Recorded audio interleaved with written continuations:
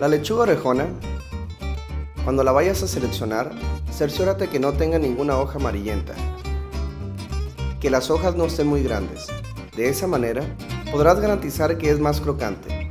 Como dato curioso, la lechuga orejona es el ingrediente principal de la ensalada César, originaria de Tijuana, Baja California.